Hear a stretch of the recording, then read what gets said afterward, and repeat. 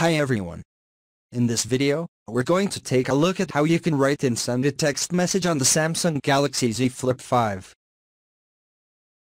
On the home screen, tap on the text messaging app.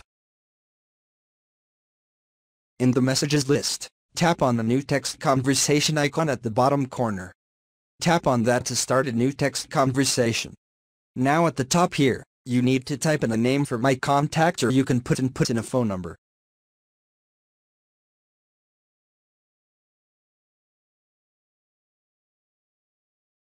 And then you can select it to start a new conversation or open up an existing conversation.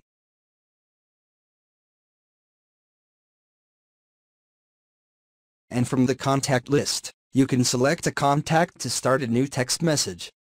You can also add in multiple people. So this will allow us to create a group conversation.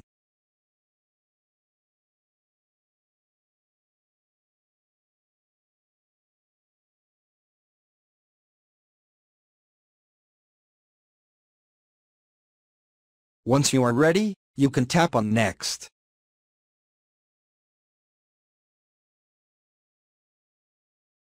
And that will allow you to create a new text conversation.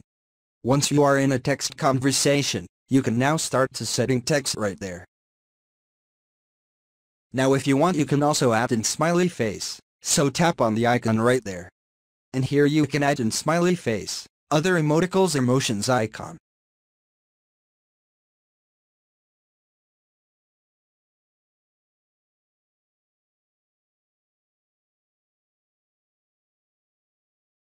And you can also insert GIFs and stickers in the emoji tab.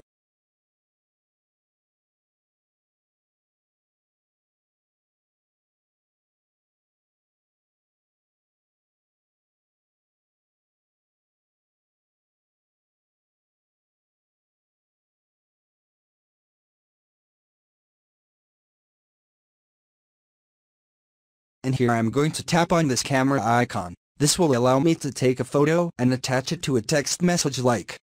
And then tap on attach and this will allow me to directly access the camera and attach that capture photo. And then you can send it.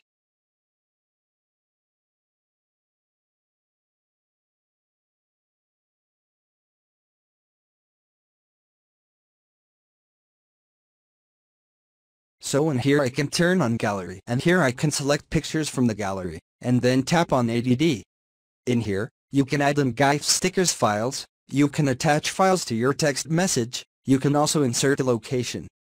For example, if you are looking for a location to meet up with somebody, you can use the location finder to find a specific location. And you can also add in contacts, and you can also schedule send your text message. And once you are ready, just tap on the send button. Thank you for watching. And if you find this video helpful don't forget to leave a like comment and to subscribe our channel.